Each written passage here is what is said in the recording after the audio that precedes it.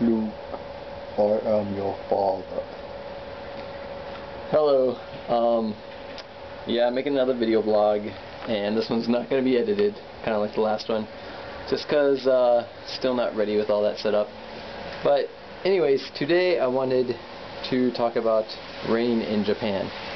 Um, I don't know if you can really see behind me or not, but it's raining, and it rains a lot here. Um, and when it rains, it's not like in America, like it's not like a few heavy drops come down and hit you, and you can wear a hat outside.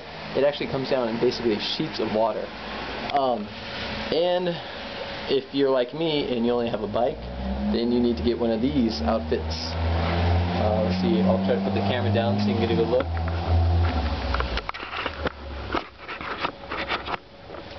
So, yeah, completely decked out, even with this little rain thing that lets you see what's coming at you from different directions. Um, and basically these rain outfits cost usually between 30 and 50 dollars.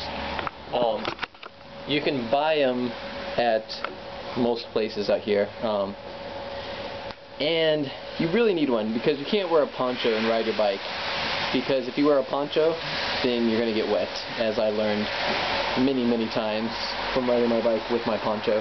Um, and these things actually keep you relatively dry um, but they're a pain to get on and off. You have like so many zippers and so many buttons you have to go through. But anyways I just want to show you that um, and I'll close out and I'll see if I can get a shot of some of the rain coming down for you